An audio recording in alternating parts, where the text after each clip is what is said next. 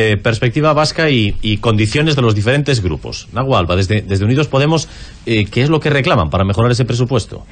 Bueno, nosotros eh, hace ya unos meses firmamos un acuerdo que con, con, el Gobierno, que yo creo que era un acuerdo muy bueno, que suponía un gran avance en muchísimos aspectos. Y es cierto que todavía no hemos mirado las cifras concretas, ¿no? Todavía solo conocemos los, los grandes titulares y que hay muchos aspectos de, de ese acuerdo que están presentes en esos grandes titulares. Destacar pues que por primera vez en 10 años eh, el ajuste presupuestario se realiza por vía de ingresos y no, y no de gastos. Esto significa que da fruto la vía de la justicia fiscal, eh, el aumento del SMI, que yo creo que es muy destacable, eh, el garantizar las ayudas a la, a la dependencia y bueno, luego avances en educación, en sanidad o en, o en vivienda, pero también es cierto que, no hemos visto por ahora que ese, acuerdo se vaya a cumplir íntegramente. Y creemos que bueno que si se llega a un acuerdo evidentemente tienen que estar presentes todas las medidas tanto presupuestarias como extrapresupuestarias que estaban que estaban en él. Y me estoy refiriendo pues al tema de alquiler el regular el mercado y,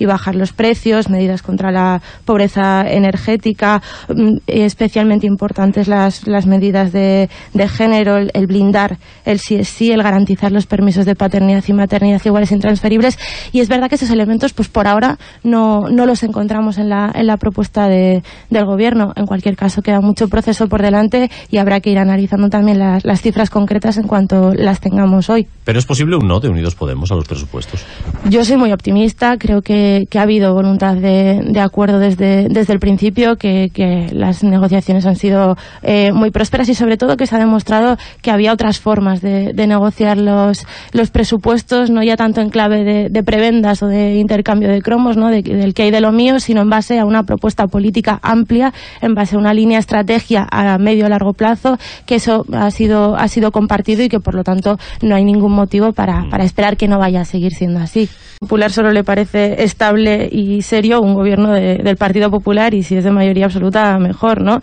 Pero que, que, que haya más pluralidad en, en, en el Congreso, que haya que llegar a acuerdos, que no haya mayorías absolutas, es algo perfectamente positivo. Esto permite que se negocien las cosas y que se enriquezcan los, los acuerdos. Esto permite que los partidos que están en la oposición también puedan ser, puedan ser útiles. Yo creo que estos presupuestos, muchas de las medidas que recogen no estarían presentes si, si Unidos Podemos no hubiese llegado a un, a un acuerdo con, con el Gobierno y que esto es algo que, que es bueno y que es positivo porque las políticas que salgan de, de este tipo de procesos en los que hay que negociar, en los que hay que llegar a acuerdos entre partes pues diferentes y con intereses diferentes siempre van a ser mucho mejores que Hombre, los diseñados en base que el a los gobierno anterior también estaba en minoría absoluta. Muro, cordón sanitario, como dice Javier Lasarte. Sí, yo creo que, bueno, este debate también nos sirve para contraponer eh, agendas. Precisamente antes señalaba que, me parecía importante que se recogieran medidas y se desarrollaran medidas para blindar que el solo sí es sí, ¿no? En contraposición a, la agenda extremadamente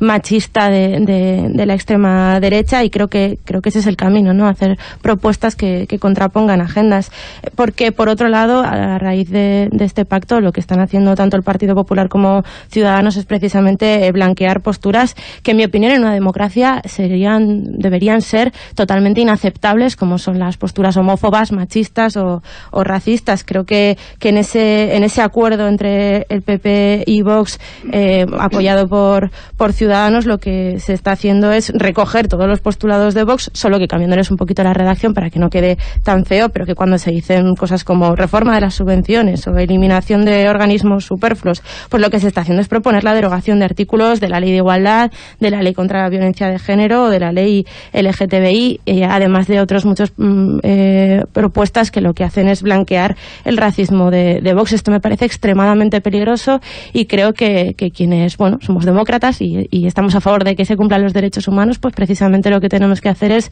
desarrollar medidas que vayan justo por el, por el camino contrario para construir un futuro que, que no sea el que nos están intentando imponer desde el otro lado. Bueno, a Iñaki solo es le ha faltado llamarnos al resto de los que estamos aquí eje del mal o algo es parecido, porque vamos, eh, bueno, yo creo que no hay que tomar no, a la gente... Una especie por, fa de, por favor, de, déjame, de, que yo te he dejado a ti. Eh, yo creo que no hay que tomar a la gente por tonta, decir que estáis absolutamente alejados de Vox cuando acabáis de pactar con Vox, pues suena un poco casi a, a chiste. Y, y lo, lo, mismo cuando hablabas de, cuando criticabas eh, la apuesta por el nacionalismo español, yo te recomendaría que escucharas uno de los últimos mítines de, de estas semanas del líder de vuestro partido, porque creo que su estrategia se parece bastante a lo que, a lo que decías que, no había que hacer. Eh, por otro lado, quería insistir en una cosa que ha dicho Oscar Matuto, que yo estoy muy de acuerdo. Eh, no basta con, con, el líquido de contención, hay que, hay que avanzar y hay que, hacer, hay que ser ambiciosos ahora mismo. Esto es como andar en bicicleta, si no, si no avanzas, pues eh, te caes. Y creo que,